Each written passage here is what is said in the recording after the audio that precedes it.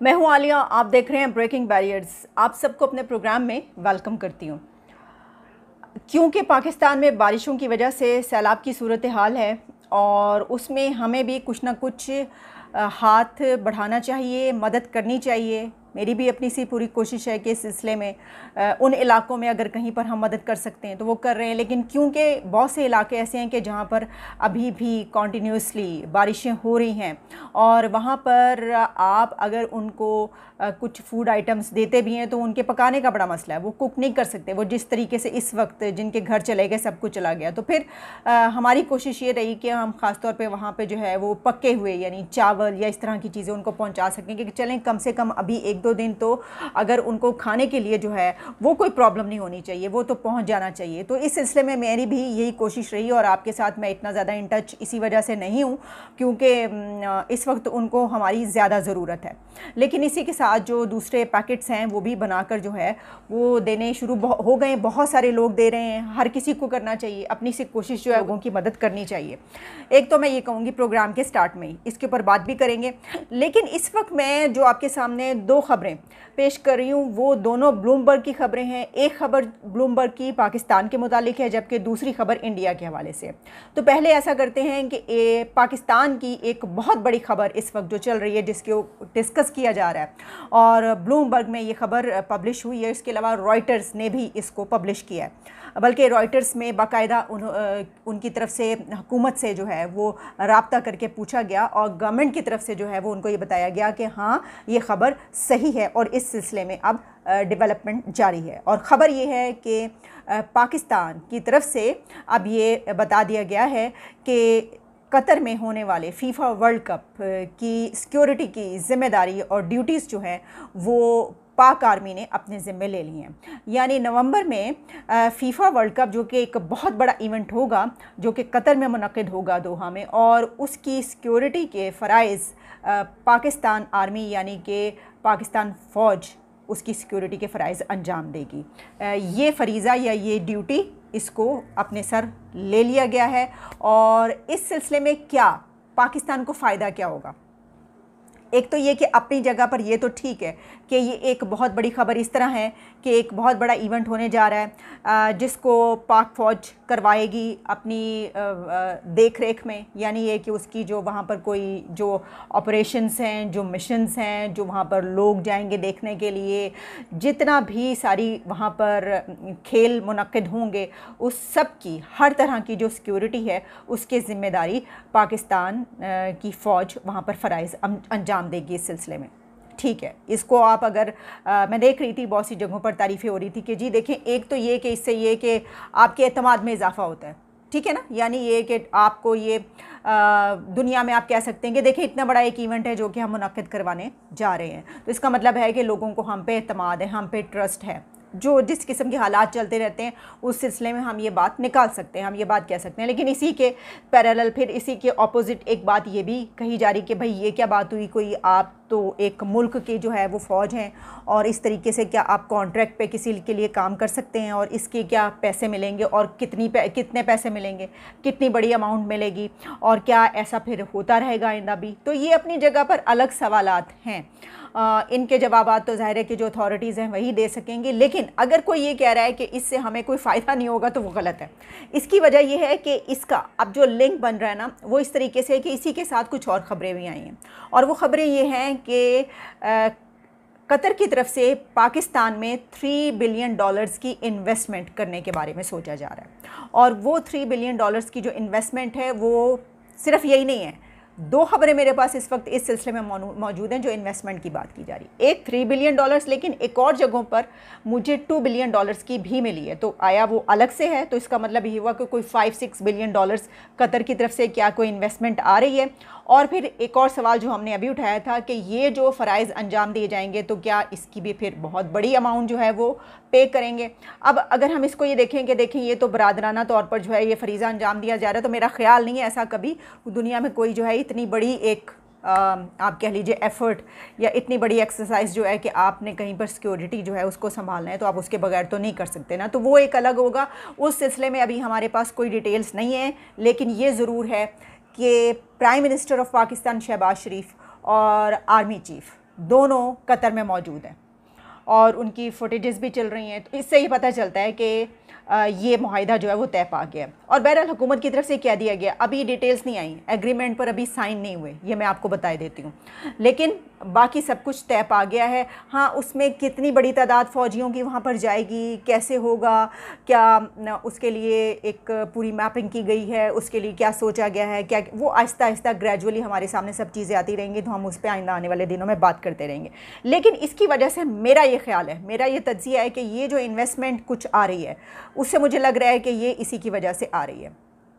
एक तो मैं आपको ये बता दूँ कि कतर ने दो अरब डॉलर्स टू बिलियन डॉलर्स जो है वो फ्राहमी यकीन दहानी करवा दी है कि वो प्रोवाइड करेंगे। और ये किसने कहा है? ये कहा है गवर्नर स्टेट बैंक जो इस वक्त उसको जो है देख रहे हैं। ठीक है? उन्होंने उनका ये कहना है जो कि मुर्तज़ा सैयद है, कहा है कि पाकिस्तान ने फ़ोर बिलियन डॉलर्स की फ़ाइनेंसिंग हासिल कर ली है। ये ख़बर।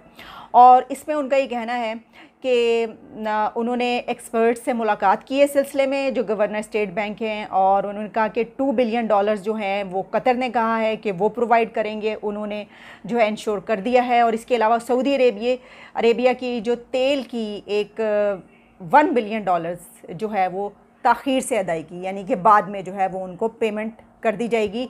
ये उन्होंने हमें एक सहूलत दी है कि चलें ठीक है ये फैसिलिटी आपको दे रहे हैं कि आपने वन बिलियन डॉलर्स जो है वो आप बाद में तेल की मद में अदा कर सकते हैं। और यूए की तरफ़ से भी वन बिलियन डॉलर्स की जो इन्वेस्टमेंट है वो भी आ रही है। ये भी उनका ये कहना है। और फिर इसमें उन्होंने ये भी कहा कि जो आ, हमारे यानी कि चंद फ्रेंड्स हैं अगर कोई हैं ऐसे कंट्रीज़ जो हैं तो उसमें से कोई फ़ोर बिलियन डॉलर्स फंडिंग जो है वो हमें मिलने के चांसेस है, जिसकी वजह से सूरत हाल बेहतर हुई है। अच्छा साथ में फिर उन्होंने ये भी कहा कि थर्टी बिलियन डॉलर्स की जो है वो ज़रूरत है और 37 बिलियन डॉलर्स फाइनेंसिंग हासिल करने का जो है वो टोटल एक्सपेंडिचर्स या उन्होंने जो तखमीना, जो भी कैलकुलेशन है वो की गई। यानी कि 30 और 37 सेवन बिलियन डॉलर्स का बीच में वो आ रहा है। अब इससे तो देखिए, मैंने आपको बता दिया कि टू बिलियन डॉलर्स तो यहाँ पर उन्होंने ये कह दिया, गवर्नर स्टेट बैंक ने कि जनाब मिल रहे हैं। लेकिन इसी के साथ कतर की जानब से पाकिस्तान में तोानाई यानी कि एनर्जी और टूरिज़म और पावर सेक्टर इसमें इन्वेस्टमेंट की बातें भी सामने आ रही हैं। और इसमें कहा जा रहा है कि ये भी ब्लूमबर्ग की खबर है जो मैं आप तक पहुँचा रही हूँ। और इसमें जो सारी अथॉरिटीज़ हैं, उन्होंने इसका जायज़ा ले लिया है, जिसमें पाकिस्तान में थ्री बिलियन डॉलर्स जो हैं, वो इन्वेस्टमेंट की जाएगी। और ख़ास तौर पर इस्लामाबाद और कराची एयरपोर्ट पर। कतर इन्वेस्टमेंट अथॉरिटी की सरमायाकारी जो है, उसकी पॉसिबिलिटीज़ है। अब ये इस्लामाबाद और कराची एयरपोर्ट पे किस किस्म की होगी इन्वेस्टमेंट इसके बारे में अच्छा अगर हम इसको इस तरीके से देखें कि आपको याद होगा कि हमने अपनी जो कुछ एसेट्स जो हैं, वो कुछ हमने कहा था कि दे देते हैं, इसको दे देते हैं, उसको दे देते हैं, दे भी दिए थे कुछ। उसके लिए ज़रूरी था क्योंकि उस उस मद में जो है, वो फिर पैसे आने थे। तो क्या ये वही वाली है? कि ये जो एयरपोर्ट्स पर इन्वेस्टमेंट की है, क्या ये उसी मद में है कि जी ठीक है, वो इस्तेमाल कर लेंगे और हमें, या फिर ये कि अलग से ये कतर की और भी थ्री बिलियन डॉलर्स इन्वेस्टमेंट है। इसके बारे में भी वाजह होगा तो हमें यकीन पता चल जाएगा, लेकिन जो भी है, मैंने आपको बता दिया, मैंने सही कहा था ना, वैसे तो खबर ये दी जा रही है थ्री बिलियन डॉलर लेकिन जब आप उसको डिटेल में जाके देखते हैं तो ये तकरीबन फाइव सिक्स बिलियन डॉलर्स जो हैं, वो बन रहे हैं। आ, अच्छा अब इसको हम इसके ऊपर बात कर लेते हैं कि जो फीफा वर्ल्ड कप की उस पर कहा जा रहा है। देखिए इससे पहले अगर आपको याद हो तो जो अमेरिका फ़ोन किया था आर्मी चीफ़ ने तो वो हमें याद है वो एफ़र्ट्स थी। तो मुझे मैं मैं यही समझती हूँ कि ये जो कुछ हुआ है ख़ास तौर पर ये कि उनको ये कहा गया या उन्होंने हमें ये कहा कि हमारी ये रिस्पॉन्सिबिलिटी आप उठाएँ या फिर ये कि हमने ये देखा कि यहाँ पे जगह बन रही है। आ, आर्मी चीफ़ ने ये देखा या जो भी अथॉरिटीज़ हैं उन्होंने देखा कि इस वक्त ये वाली जगह ऐसी बन रही है कि अगर हम ये करते हैं तो हमें इसका बहुत ज़्यादा फ़ायदा होगा। एक तो ये कि इमेज बिल्डिंग भी है कि ज़ाहिर है कि हमें कितनी बड़ी रिस्पॉन्सिबिलिटी उठा रहे हैं और ये करके दिखा रहे हैं और अगर वो सही तरीके से हो जाए बस अब ये दुआ करें कि वहाँ पर सब कुछ सही हो जाए ठीक है ना? वरना लेने के देने भी पड़ सकते हैं। वैसे तो इसमें सवाल जो है बहुत सारे उठाए जा सकते हैं जैसा कि इस वक्त पाकिस्तान में जो बारिशों के बाद की सूरत हाल है तो असल में तो ज़रूरत यहाँ पे है। यानी पाक फ़ौज की जो ज़रूरत है, वो तो यहाँ पर ये फ़रज़ अंजाम देने की है। सबसे ज़्यादा क्योंकि देख लेना क्या हालात हैं और हम तो अपने मुल्क को नहीं संभाल पा रहे।